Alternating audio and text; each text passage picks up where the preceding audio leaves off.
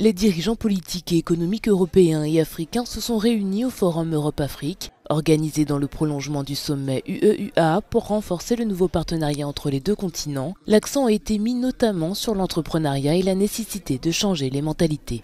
Il faut un changement de conception, de mentalité, surtout chez les jeunes, par rapport à la relation euh, employé-employeur.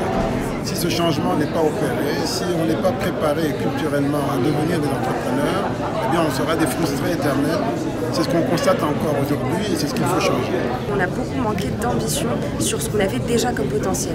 Et j'ai envie qu'on arrête de parler du potentiel purement euh, matériel, de, de, ce potentiel en disant voilà, voici les ressources de l'Afrique, voici la jeunesse de l'Afrique.